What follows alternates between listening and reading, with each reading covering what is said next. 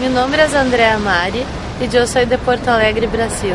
Trabajo como assessora de imagen ou como dizem acá, assessora de look.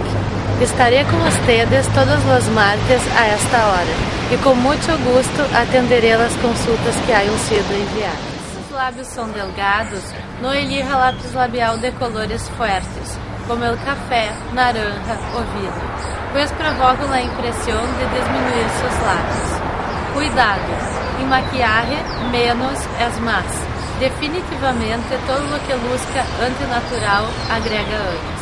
Graças por sua atenção e las esperamos em um próximo programa.